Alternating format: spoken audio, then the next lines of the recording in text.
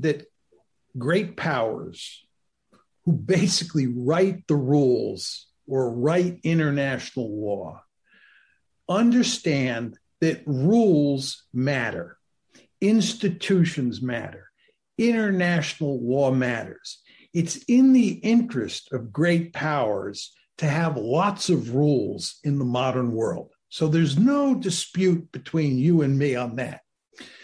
I think where you and I differ is that I believe that if a great power thinks that its vital interests are threatened by obeying a rule or a law that it wrote, in such a case, it will violate the rule. It will violate the law. It will do whatever is necessary to protect itself, to guarantee its survival.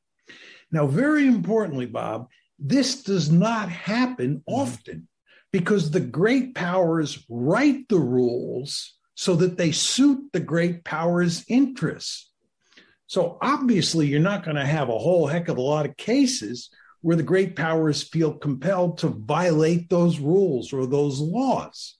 But every once in a while, you'll run into an important case where a state, a great power in particular, decides that the rules counter act what are the state's vital interests. And in that case, it will axiomatically violate the rules. That's the basic argument here.